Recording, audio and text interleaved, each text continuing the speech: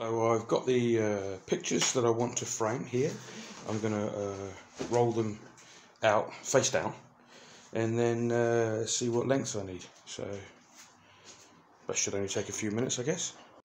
So I've checked the lines. I've done it approximate as because because this doesn't really need to be perfect. Uh, and I've got the lines as you can see there. Um, they should all be the same length uh, for both pictures. However, however, the width might be different, but not an issue.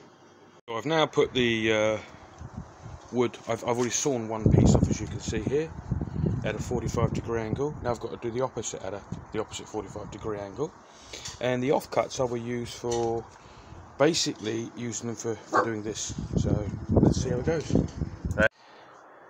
So I've now got the uh, the eight pieces I need, the two sides, two tops and the four inner corners ready. I'm just going to do some stapling in each corner. Just one so that I can flex it a bit. So I'm going to put the main frame together and then add the others after once I've got it quite square. So as I haven't got a T-square, what I've done I've pushed it into the corner of the room and using that as a basic guide can make it roughly 90 degree corners.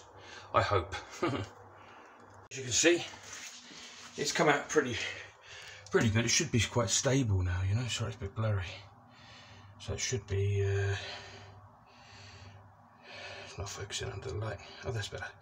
Yeah, it's looking pretty good now.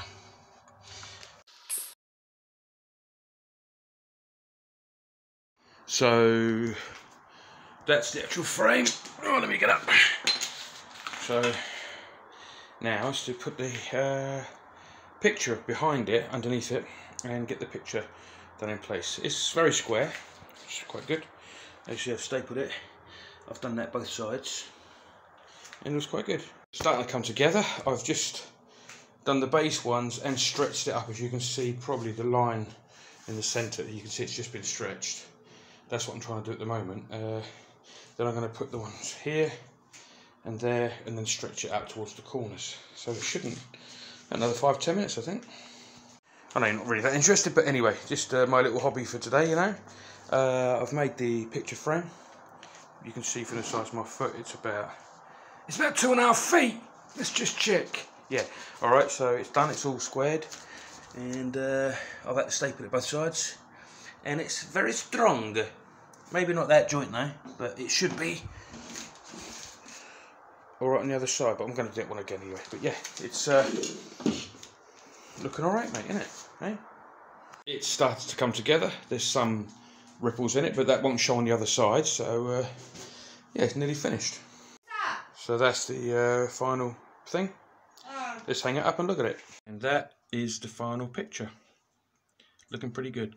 I'm proud of that.